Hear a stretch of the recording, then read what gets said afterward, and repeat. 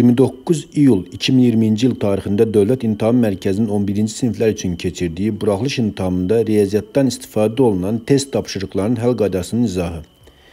Birinci misal. Birinci misalda kosinus x çıxaq sinus kvadratı 32 bərabərdir kosinus kvadratı 32 çıx 2-də 1 şəklindədir. İlk öncə sinus kvadratını bərabərliyin sağ tərəfinə keçirəcəm. Kosinus kvadratı 32 üstə gələk sinus kvadratı 32 çıxaq 2-də 1. Kosinus kvadratı alfa üstə gələk sinus kvadratı alfa 1-i verdiyinə görə kosinus x bərabərdir 1 çıx 2-də 1 alırıq. Yəni buradan da alırıq ki, kosinus x bərabərdir 1-dən 2-də 1 çıxanda 2-də 1-ə. Kosinus x bərabər A təlinin həll qaydasına görə yazıram ki, x bərabərdir müsbət mənfi arq kosinus 2-də 1, yəni pi böl 3 üstə gələk 2 pi n. Burada n tam ədəddir daxildir z-ə.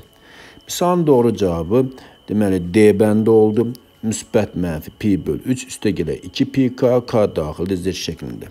İkinci misal. Tərəfi 8 olan kvadratın perimetrini hesabla. Bildiyimiz kimi kvadrat e, bütün tərəfləri bərabər olan düzbucaqlıdır. Bütün tərəfləri bərabər olduğuna görə kvadratın perimetri p bərabərdir 4a düsturu ilə tapılır.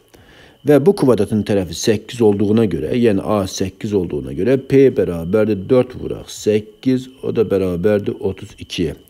Misalın doğru cavabı A bəndi 32-dir.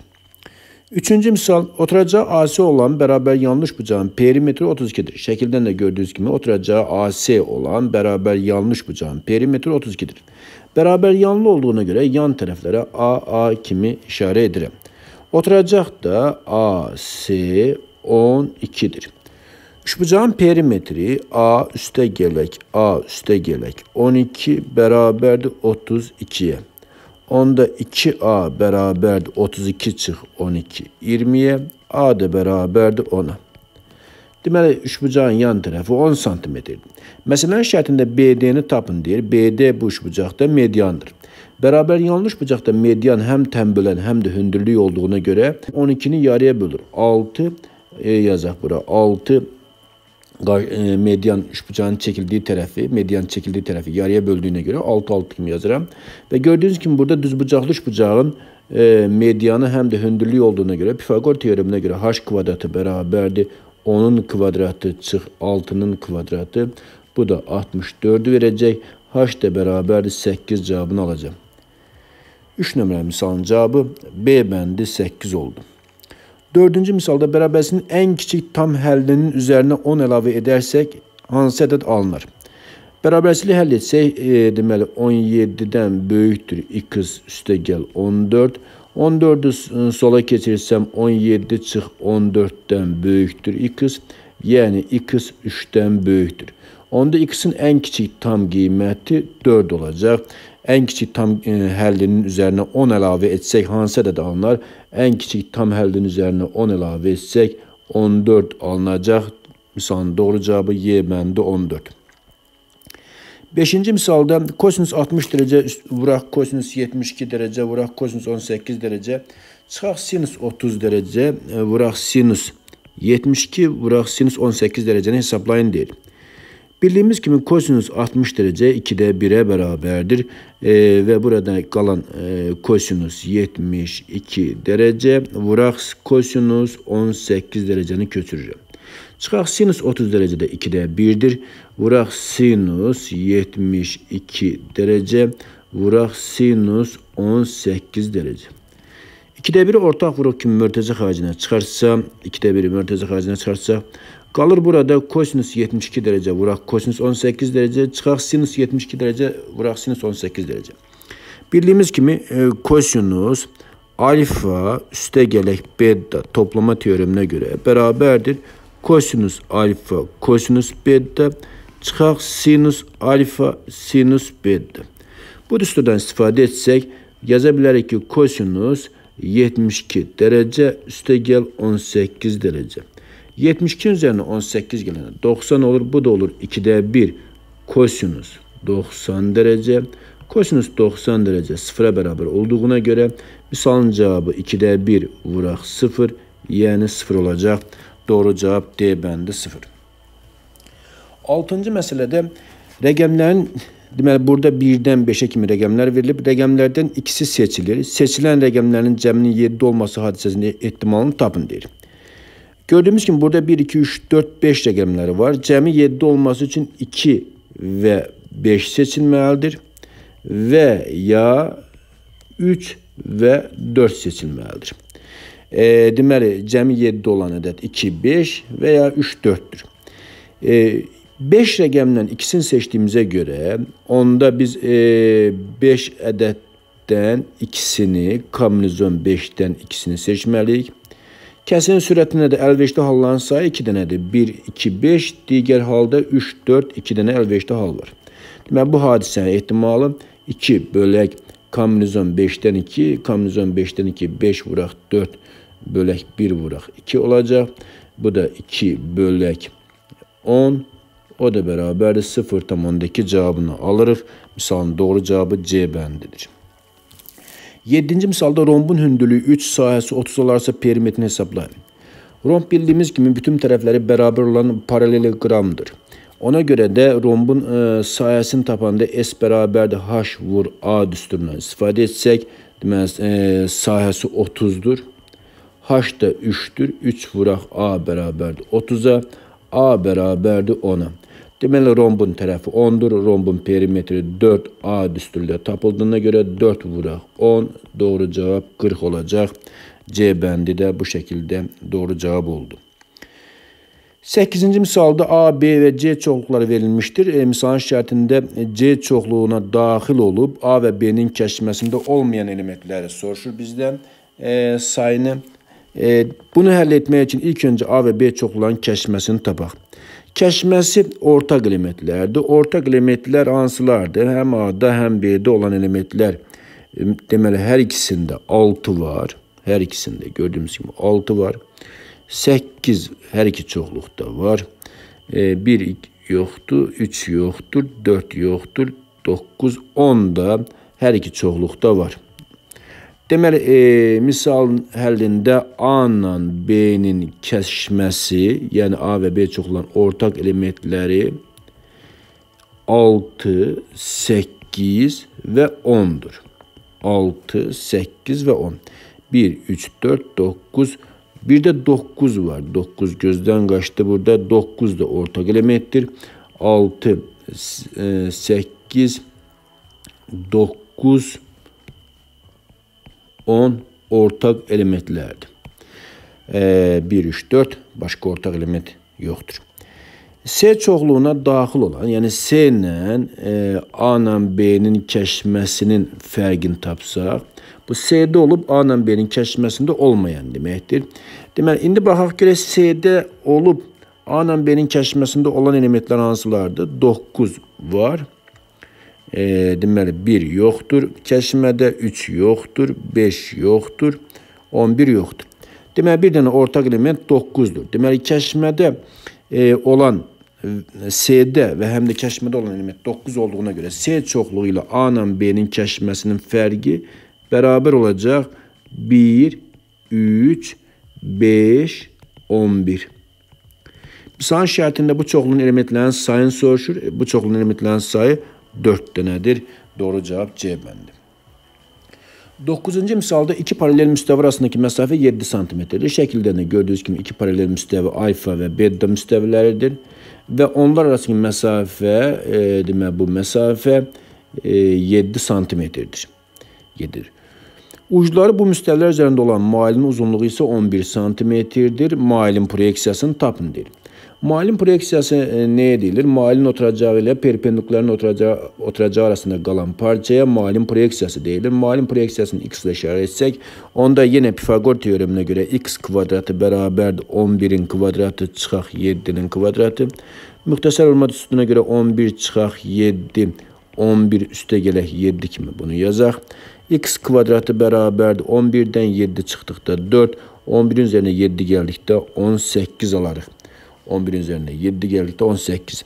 Deməli, x kvadratı bərabərdir 4, 18-i 9 vuraq. 2 kimi yazıram. Onda x bərabərdir 2, 3 kök altında 2 kimi yaza bilərik. Yəni 6 kök altında 2. Cavab B bəndi 9-cu misalın doğru həllidir. 10-cu misalda işin 70%-i görüldü, sonra isə qalan işin 20%-i görülərsə, işin neçə faizi görülməmiş qalar. İşi bir e, ədəd oxu üzərində göstərsək, işin 70 faizi görüldü. 70 faizi görüldü. Onda 30 faizi görülməmiş qalıb. 30 faizi görülməmiş qalıb. Çünki tam iş 100 faizdir. Və qalan işin, yəni 30-un da 20 faizini görsək, 30-un da 20 faizini görsək, bu da 6 edir.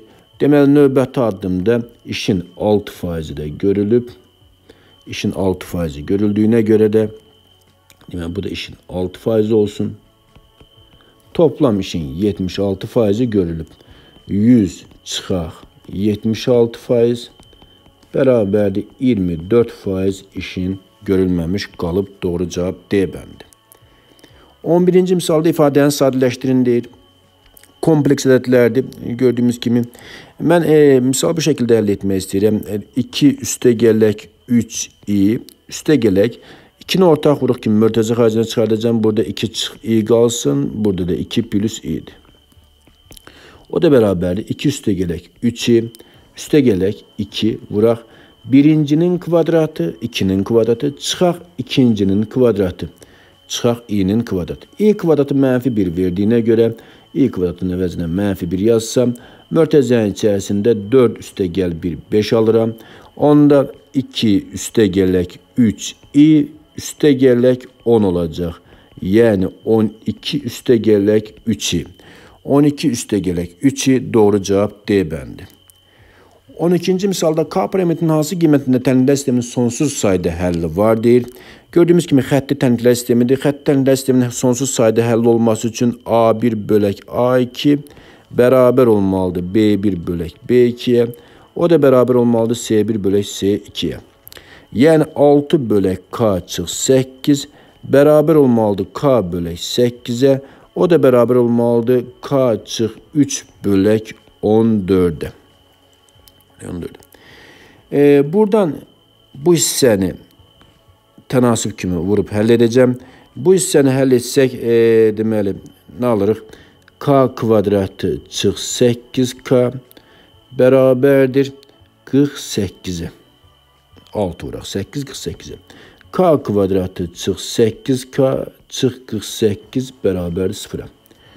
E, seçmə yolla tənliyin köklərini tapaq. Viyyət teoreminə görə bu tənliyin köklərinin cəmi müsbət 8, tənliyin köklərinin hasili isə mənfi 48-dir. Bu ədədlər e, müsbət 12 və mənfi 4-dür. E, toplayanda 8, vuranda 48 olan ədədlər. İndi cavabımız 12 və mənfi 4-dən hansı olduğunu onu seçmək lazımdır. Bunun üçün də neyniyək? E, K-nın əvəzinə ilk öncə 12 yazıram. 12 yazsam 6 bölək 12-dən 8 çıxanda burada 4 qalır. Bərabərdir 12 bölək 8. O da bərabərdir. K-nın yerinə 12 yazsam 12-dən 3 çıxsaq 9 bölək 14. 9 bölək 14 bu bərabərlik ödənmədi. Bu halda e, yəni K bərabər 12 olduqda tənliyin nəinki sonsuz sayda həlli olur, həlli olmur. İkinci cavab mənfi 4-ü yoxlamaq lazımdır. E, K-nın əvəzinə mənfi 4 yazsam 6 bölək mənfi 12 bərabərdir mənfi 4 bölək 8. Bu isə e, onsuz da ki bərabər olacaq. Mənfi 2-də biri verir. Bərabər K-nın yerinə mənfi 4 yazsaq, mənfi 7 bölək 14 olur və bu da mənfi 2-də biri verir. Deməli, doğru cavab mənfi 4-dür. 12 nömrəli misalın cavabı B bəndi oldu. 13-cü misalda ifadənin qiymətini hesablayın deyir. Loqaritm 3 əsasdan 36 yazaq. Loqaritm 3 əsasdan 36 çıxaq. 36-nı mən 6-nın kvadratı kimi göstərmək istəyirəm. 6-nın kvadratı. Çıxaq e, loqaritm 3 əsasdan 7 vuraq 7 əsasdan 4.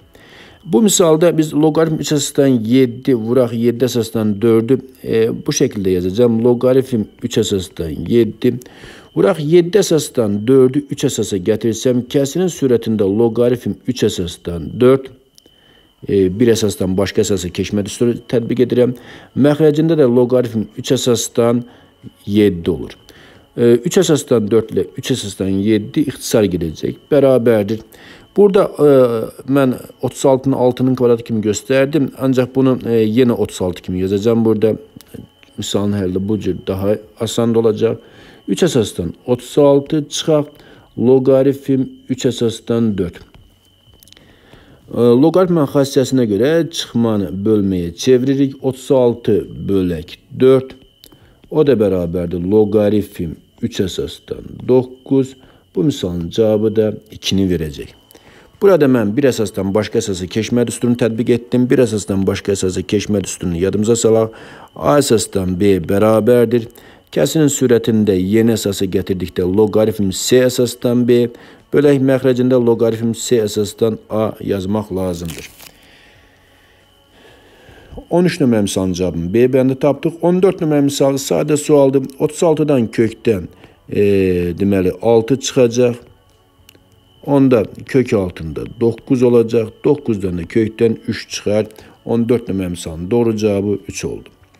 15 nömrə misalda tənliyin kökləri x1 və x2 olarsa x1 vuraq x2-nin kubu, üstə gələk x1-in kubu vuraq x2-ni tapın deyil. Ortaq vuruğu x1 vuraq x2-nin mörtəzə xaricinə çıxardıram. Burada qalır x2-nin kvadratı, üstə gələk x1-in kvadratı.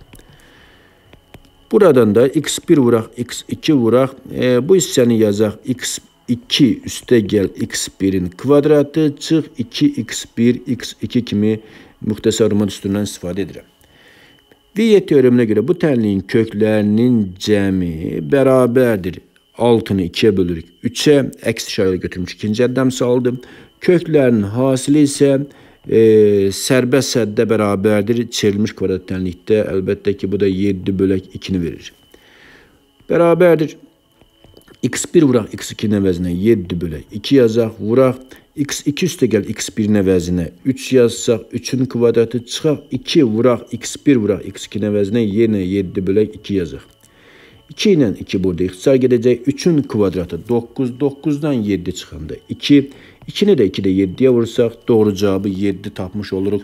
Bu sualın doğru cavabı 7 oldu. 16-cı misalda loqaritma əsası 10-dur. E, deməli, yəni onluq loqaritm burada. Birin əvəzinə yazıram LG1, yəni 10 əsasdan 10 yazıram. Hər tərəfdən loqaritmaları açsaq, onda 9 üstə gələk, onluq loqaritm 8 üstə gələk, yenə onluq loqaritm x bərabərdir 10 alarıq. 9-u sağa keçirsəm, yenə də loqaritm 10 əsasdan 8 üstə gələk 10 əsasdan x bərabərdir 1 alarım. Birin əvəzinə yenə də loqaritm 10 əsasdan 10 yazsam və hər tərəfdən loqaritmaları açsaq, 8 üstə gələk 10 əsasdan x bərabərdir 10 alacaq. Buradan da 10 əsasdan x bərabərdir 10-dan 8 çıxsaq 2, x də bərabərdir 10 üstündə 2-yə, yəni 100-ə. Misalın doğru cavabı 100-dür. 17 nömrə misalda o mərkəzli çevrədir. AO perpendikulardır OC-yə və bucaq OB, OCB, OCB şəklindən də göründüyü kimi 80 dərəcədir. BAO bucağını tapın deyir. BAO bucağını tapın, bu bucaq tapmaq lazımdır. Çevrənin radiusunu çəkirəm burada. E, bu da çevrənin radiusudur. Bu da çevrənin radiusudur. Onda bu da R, bu da R, bu da R yazaq. Bu bucaq da 80 dərəcə olacaq. Çünki bərabər yanlış bucaqdır. E, bərabər yanlış bucağın oturacağına bir şey bucaqlar bərabərdir. E, və e, onda bu üç bucağın təpə bucağı, e, üç bucağın daxili bucaqların cəmi 180 olduğuna görə 20 dərəcə olacaq. 90-dan 20-ni çıxsaq, burada 70 qalır. Yeni e, bu e, deməli O, A, B üçbucağı da bərabər yanlış bucaqdır. Bu bərabər yanlış bucağın təpə bucağı 70 dərəcədirsə, onda oturacağına biçik bucaqları, yəni bucaq A və bucaq B bir-birinə bərabərdir. Bu e, bucaq A və bucaq B bir-birinə bərabər olduğuna görə burada x yaza bilərik. Onda 70 üstə gəl x üstə gələ x bərabərdir 180 dərəcəyə, 2x bərabərdir 110 dərəcəyə x bərabərdir 55 dərəcə cavabını alacaq. Deməli 17 nömrə misalın cavabı da 55 dərəcə oldu. 18-ci misalda AN ədədi silsiləsində A21, 33, A39 da 36.9 olarsa S5-i tapın deyir. Bu misalda e, yazaq ki, AD bərabərdir AN çıx AM bölək N çıx M düsturundan istifadə edək. Yazaq ki, D bərabərdir A39 çıxaq A21 bölək 39 çıx 21 bərabər. A39 neçədir? A39 36 tam onda 6-dır. A21 neçədir? 33-dür. 39-dan da 21 çıxanda 18 məxrəci verəcək. Deməli, D bərabərdir. 36 tam onda 6-dan 33 çıxanda qalır burada e, 3 tam onda 3. 3 tam onda 6 daha doğrusu 3 tam onda 6 bölək 18. Kəsrin sürət məxrəcini 10-a vursam və 36-yı ixtisar aparsam 5-də 1 alarıq. D 5-də 1-dir. D 5-də 1-dir. Mənə bir də lazımdır. A1-i tapam. Deməli A21 bərabərdir A1 üstə gələk 20D düsturuna əsasən 33 bərabərdir A1 üstə gələk 20 vuraq D. D də 5-də 1-dir. 5 ilə 20 ixtisar getsə, burada D qala, 4 qalacaq. A1 də bərabərdir 33 çıx 4 29 alarıq. D29 oldu. Bizə lazımdır S5-i tapmaq. S5 bərabərdir 2A1 üstə gələk 4D böl 2 vur 5-ə. O da bərabərdir 2A1 neçə tapmışıq? 29 üstə gələk 4D D-ni 5-də 1 tapmışıq. Bölək 2 vuraq 5. İlk öncə 5-i kəsirin sürətinə vuracağım. 5-i kəsirin sürətinə vursam, 5-i 2-yə vuranda 10, 10-u 29-a vuranda 290 alınacaq. Üstə gələk 4 olacaq. 290 üstə gəl 4. E, və e, deməli 4 vuraq 5-də 1-i 5-ə vuranda 5-lər ixtisar getdi. 4 qaldı. Məxrəcdə də 2 olacaq. O da bərabərdir 294 bölək 2-yə. 294'ü 2'ye bölsek 2'nin 2'ye bölündü. 1 9'da 2'nin 4 defa 14'te 7 defa. Misalın doğru cevabı 147 oldu. Bu misalın da doğru cevabını tapmış olduk. 19. misalda f'1 bərabər 14 olarsa a-nı tapın deyir. İlk öncə funksiyanın törəməsini tapaq. f'-x-i tapaq. Bərabərdir. 3x kvadratının törəməsi 6x üstə gələk 2a kvadrat x'in törəməsi 2a kvadratını verəcək. 5-in törəməsi 0 verəcək. Funksiyanın törəməsini tapdıq. İndi f1-i tapaq. f1 bərabərdir 6 vuraq 1 üstə gələk 2a kvadratı bərabərdir 14-ə. 2a kvadratı bərabərdir 14 çıx 6-ya. 2a kvadratı bərabərdir 14-dən 6 çıxsaq 8 qalacaq. A kvadratı bərabərdir. Buradan alırıq ki, 4-ə. A da bərabərdir müsbət mənfi 2-yə. Funksiyası üçün A-nın hansı müsbət qiymətində dediyinə görə bu misalında doğru cavabı müsbət 2 olacaq. 20 nömrə misalda 27x kubu üstə gəl A bərabərdir 3x üstə gəl 2 vuraq bx kvadrat üstə gəl cx üstə gəl d şəklindədir. Gördüğümüz gibi bu muhtesar olma üstüne aittir. A kubu üste gel B kubunun açılışıdır. A kubu üste gel B kubunun açılışı beraber A plus B birincinin kvadratı. Çıxaq birincinin ikinci hasili üste gel ikincinin kvadratı şeklinde olmalıdır. Misala baxanda 3x üstə gəl 2, yəni A-nın əvəzində 3x, B-nin əvəzində 2 yazıldığına görə müqayisə edəndə alırıq ki, deməli, e, burada 3-ün 3x-in kubu olmalıdır. Yəni 27x kub olmalıdır. B e, gördüyünüz kimi 2 yazılıbsa, onda B-nin əvəzinə yazmalıyam 8. E, düstura görə müqayisə etsək görürük ki, B-nin əvəzinə yazmaq lazımdır 8-i. Onda biz bunun vuruqlarını ayıranda 3x üstə gələk 2. Birincinin kvadratı birincinin kvadratı çıxaq birincinin ikinciyə hasili çıx 6x olacaq. 3x vuraq 2. Üstə gələk ikincinin kvadratı olacaq. Yuxarıdakı ifadəni təkrarən ə, e, bu ifadənin altından yazıram. Bərabərdir 3x üstə gələk 2. Mörtəzə içərisində bx kvadratı üstə gəl cx üstə gələk d şəklindədir. Gördüyümüz kimi a bərabərdir 8-ə, b bərabərdir 9-a, c bərabərdir mənfi 6-ya, d bərabərdir 4-ə. Misalın şərtində a üstə gələk b üstə gələk c mənfi 6-dır. Üstə gələk d-ni tapın deyir. 8 üstə gələk 9, e, çıxaq 6 üstə gəl 4-ü tapmaq lazımdır. İlk öncə mən 9-dan 6-nı çıxacağam. 3 3 ilə 4-ü toplasaq 7, 7 ilə 8-i toplasaq 15 cavabını almış oluruq. Bu misalına doğru cavabı 15-dir. 21-ci misalda düz altıbucaqlı prizmanın açılış formasına əsasən onun yan səthinin sahəsini tapın. Düz e, prizma olduğuna görə yan til oturacaq müstəvisinə perpendikulyardır. Yan til bu şəkildən aydın görünür ki 6-dır.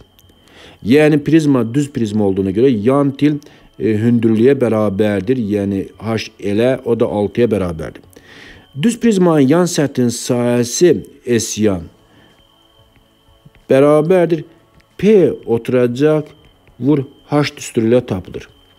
Oturacağın perimetrini tapmaq lazım. Prizma açılışı olduğuna görə bu e, parça 1-dir, bu parça 3-dür. E, bu parça da 1-dir, bu parça da 2-yə uyğundur.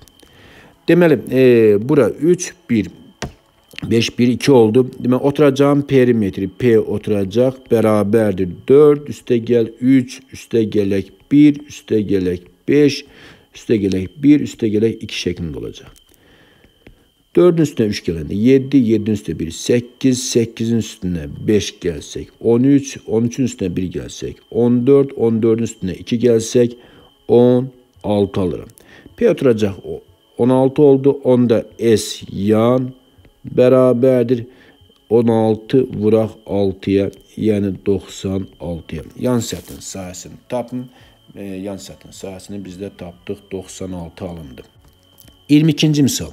22-ci misalda çevrələr arasındakı ən qısa məsafəni tapın. Gördüyünüz kimi birinci çevrənin radiusu, radiusu birinci çevrədə e, 3-dür. Birinci çevrənin radiusu 3-dür. Bu şəkildə çevrənin mərkəzi radiusu 3-dür. Mərkəzin koordinatı da bu O1 olsun. Mərkəzin koordinatı da 3, 2-dir. Çevrə mərkəzin koordinatı 3, 2-dir. İkinci çevrədə radius şey, e, gördüyümüz kimi 4'tür. Daha doğrusu 2'dir. E, radius 2'dir. Və mərkəzin koordinatı O2. E, mərkəzi mənfi 9 və mənfi 3 şəklindədir. Çevrə mərkəzin koordinatı mənfi 9, mənfi 3 şəklindədir.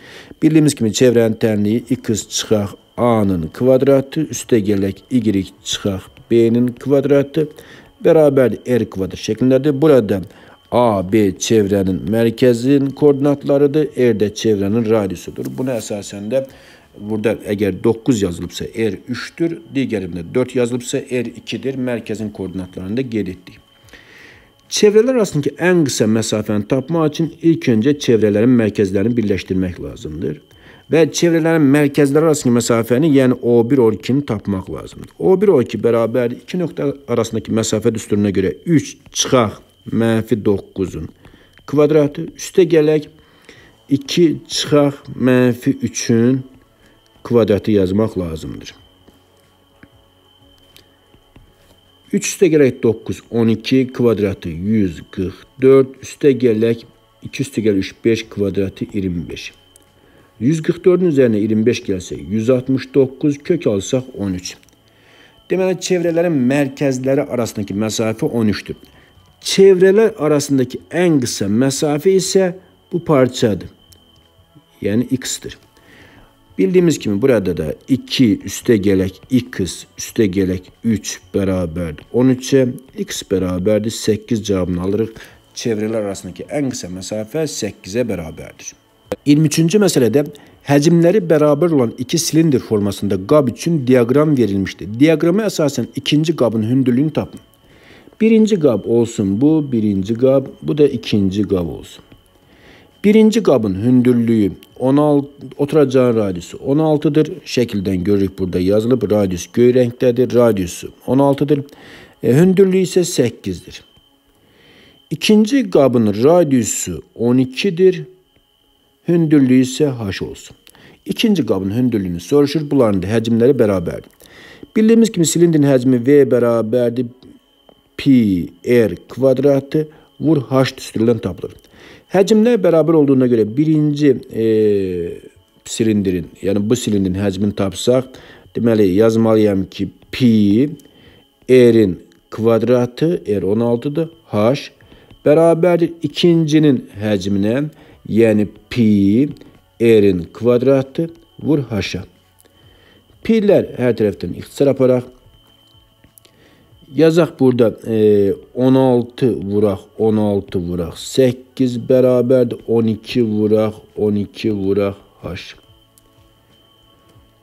12 ilə 16-nı 4 ixtisar yaparsam burada 4, burada 3 qalacaq. 12 ilə bu 16-nı 4 ixtisar yaparsam burada 3, burada 4 qalacaq. Onda e, bərabərliyin sol tərəfində e, qalır burada 4 vuraq 4, 16 vuraq 8. Sağ tərəfində 9h. Buradan da h bərabərdir. 8 kere 6 48. 4 yadda 8 4 yadda 12 128 böl 9. Cavabı bu, şəkildə saxlaya bilərik e, misalın doğru cavabını və yaxud da e, qarşı qədəş şəklində yazmaq olar. 12-ni 9-a böləndə 1 dəfə qalıq orada qalır. 3 38-də 4 dəfə 36 qalıqda 2. 14-dan 9-da 2 ikincinin hündürlüyü olacaq. 24-cü misalda e, gördüyünüz kimi 3 vuraq əkob yazılıb burada. 3 üstündə n, 5 üstündə m. Çıxaq 2 vuraq əbob 3 üstündə m, 5 üstündə n. Bərabər 133. Burada e, fikir versəniz 3 və 5 qarşılıqlı sadə ədədlərdir. Qarşılıqlı sadə ədədlərin istənilən dərəcədən qüvvətləri də qarşılıqlı sadə olacaq. Yəni məsələn 3-ün kvadratı 9 ilə 5-in kubu 125 də qarşılıqlı sadədir. Bu səbəbdən qarşılıqlı sadə ədədlərin əkobu onların hasilinə bərabərdir. Yəni bura olacaq 3 üstə n vuraq 5 üstündə m. Qarşıda da bir 3 var. Çıxaq 2 Qarşılıqlı sadə ədədlərin əbobu da 1-ə bərabərdir. Ən böyük ortaq bölənləri 1 olacaq bunların. Bərabərdir 133-ə. Onda 3 vuraq 3 üstündə. N əvəzinə də şərtdə 2M e, yaza bilərəm. 2M yazıram. N bərabərdir 2M-dir. Vuraq 5 üstündə M bərabərdir. 133 üstə gəl. 2, 135. Hər tərəfi 3-ə bölsəm və 3 üstə 2-ni 9 üstündə m kimi yazıram. Vuraq 5 üstündə m bərabər 135-i 3-ə böləndə 45-ə. Üstləri bərabər olan qüvvətləri vurduqda əsasları vurub üstü olduğu kimi saxlaya bilərik. 9-u 5-ə vururam. 45 üstündə m bərabərdir 45 üstündə 1-ə. m bərabər 1 aldım. M 1-ə bərabərdirsə, onda n də bərabərdir 2 m-ə M əvəzinə 1 yazsam, N-i də 2 tapıram. Misal şərtindən N plus M-i tapın deyirdi. N plus M-i tapın. E, N 2 tapmışıq, M-i də 1 tapmışıq. Doğru cavab 3 almış oluruq. Bu da 24 nömrə misalın həlli oldu. 25-ci məsələ. Anar və Əlinin kitab oxumasının zamandan asıllıq qrafiki verilmişdir. Qrafik əsasən 210 səhifəni ikisi birlikdə neçə dəqiqəyə oxuyar deyir. Gördüyümüz kimi Anar Keçən imtahanda da oxşar bir məsələ var idi. Anar e, 20 dəqiqəyə 20 dəqiqəyə 18 səhifə oxuyur. Səhifə oxuyur. E, deməli Əli isə Əli isə 30 dəqiqəyə dəqiqəyə 15 səhifə oxuyur. Onlar birlikdə 210 səhifəni neçə dəqiqəyə oxuyarlar deyir. İlk öncə birinci e, bərabərliyi 2-yə bölürəm. Yəni anar 20 dəqiqəyə 18 səhifə oxuyursa, onda 10 dəqiqəyə 9 səhifə oxuyacaq. Nəyə görə 10 dəqiqəyə 9 səhifə oxuyacaq? Bildiyimiz kimi e, burada zamanla səhifənin sayı düz mütənasibdir. Nə qədər çox oxuyarsa, yəni zaman olaraq nə qədər çox zaman ayırarsa, o qədər daha çox səhifə oxuyar. 20 dəqiqəyə 18 səhifə oxuyubsa, 40 dəqiqəyə 36 səhifə oxuyar, həmin qaydada davam etsə oxumağa. 20 dəqiqəyə 18 səhifə oxuyursa, onda 10 dəqiqəyə 9 səhifə oxuyar. Biz burada nəzərdə tuturuq ki, anar oxuduqca yorulmur və yaxud da əvvəl yavaş-yavaş oxumayıb, sonra sürətli davam etməyib. Yəni başdan sona kimi eyni tempdə kitab oxuyur. 20 dəqiqəyə 18 səhifə oxuyubsa, 10 dəqiqəyə 9 səhifə oxuyacaq. Əli isə 30 dəqiqəyə 15 səhifə oxuyubsa, onda 10 dəqiqəyə 5 səhifə oxuyacaq. Yəni e, yenə düz mütənasib kəmiyyət olduğuna görə zamanı 3 dəfə azaltdım, onda səhifələrin sayı da 3 dəfə azalacaq. Deməli belə çıxır ki, ikisi birlikdə 10 dəqiqəyə 10 dəqiqəyə biri 9, digəri 5 olmaqla toplam olaraq 14 səhifə oxuyacaqlar. Bizə lazımdır ki, 210 səhifəni neçə dəqiqəyə oxuyarlar, onu tapaq. 14-ü 30-a 15-ə vursaq, 14-ü 15-ə vursaq 210 olar. Ona görə də bu ifadədə də hər tərəfi 15-ə vururam. 10-u 15-ə vursam 150 dəqiqə alacam. 14-ü 15-ə vursam 210 səhifə alacam. Vəssalam, 150 dəqiqəyə 210 səhifə oxuyar. Onlar birlikdə 210 səhifəni neçə dəqiqəyə oxuyarlar? Cavab 150 dəqiqə aldıq. Bu misalında doğru cavabı 150 dəqiqə oldu. Diqqətinizə görə təşəkkür edirəm. Sağ olun.